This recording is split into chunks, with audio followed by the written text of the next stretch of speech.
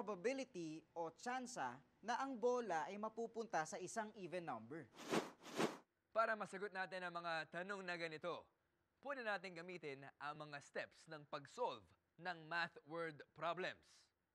Ano-ano nga uli ang mga steps sa pag-solve ng word problems?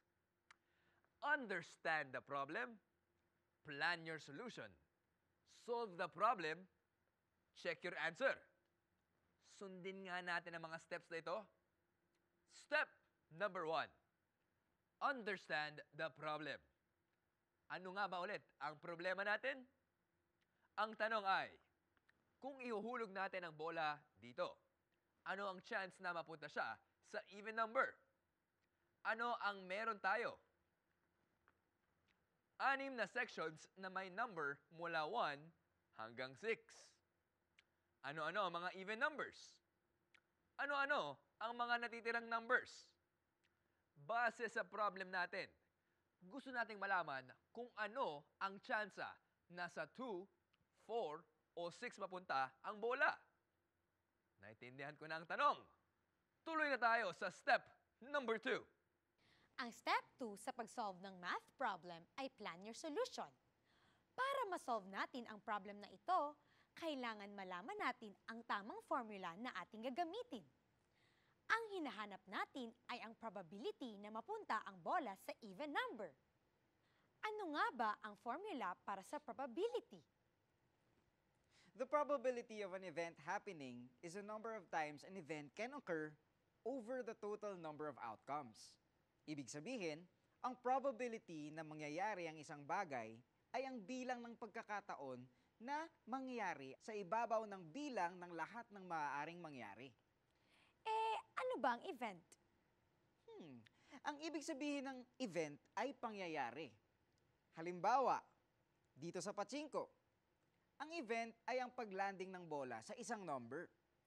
Okay, ang kailangan natin gawin ay bilangin kung ilang beses pwedeng sa even number mapunta ang bola. At ilalagay natin ito sa ibabaw ng bilang ng lahat ng number na pwedeng puntahan ng bola. Ngayong may plano na tayo kung paano natin isosolve ang problem na ito, tapos na natin ang step 2. Step 3 na.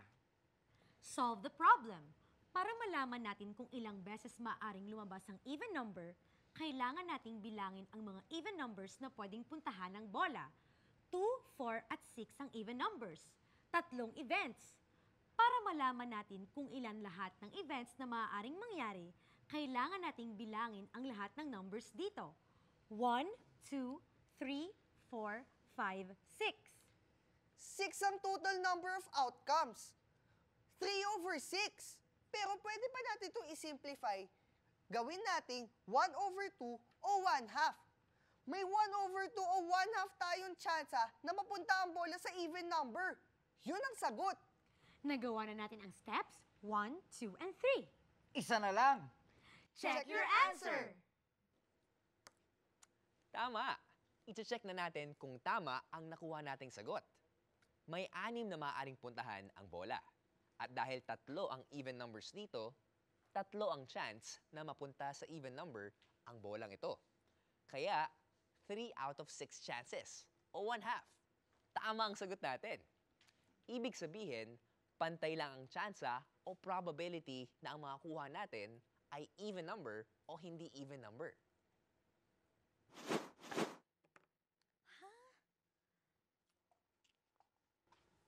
Oh, ba't pa ang gulat na gulat ka? Eh kasi Iggy Boy, inalam ko ang probability o chance na kapag binato ko ang die na ito, ang lalabas ay number na mas mababa sa 6. Alam ko yan. Lima ang numbers na mas mababa sa 6. Anim naman ang posibleng outcome kasi anim ang sides ng die. Kaya, 5 out of 6 ang probability nito. At sa probability line, likely na mas mababa sa 6 ang lumabas. Tama ka dyan.